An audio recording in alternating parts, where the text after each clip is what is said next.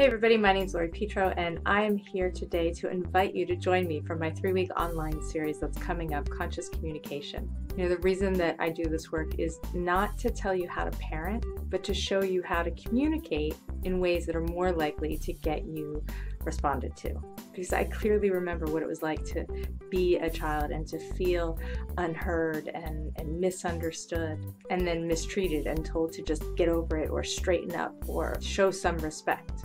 And I know as a parent how frustrating it can be to just want them to listen, to be out of time, to be low on patience, and to be completely out of ideas, and just wanting your kids to listen already. So, if you've been parenting for a while consciously and you still find yourself at a loss for what to say or how to respond to blatant defiance without being punitive, then this is the class for you. It's all about how to think and speak and act in conscious, compassionate ways that don't have you sacrificing your influence or compromising your limits. If you find yourself always ending up back in a cycle of blame, shame, judgment, or guilt, where the only thing that your kids respond to is do it or else,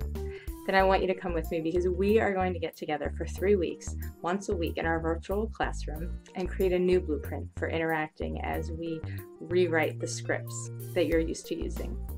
Some of you may not even be aware that you are impeding your kids' ability to behave just by the way that you are speaking to them. Are your words, your tone, your attitude, are they disconnecting you? Or are you speaking in ways that invite cooperation, reflection, contribution, consideration, all those skills that you want your children to possess?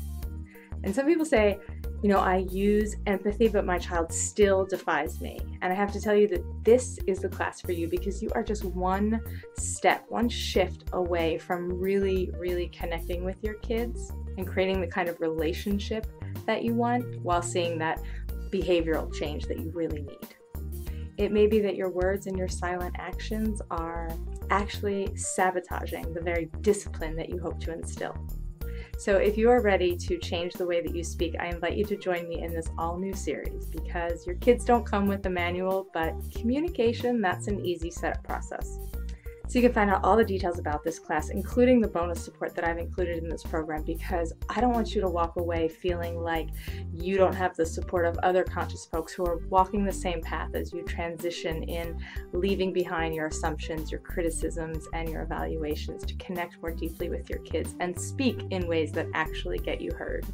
If you can train your brain to follow a new framework, you are going to be amazed at the kind of connection and cooperation that you see in your kids. So check it out, and I hope to see you there.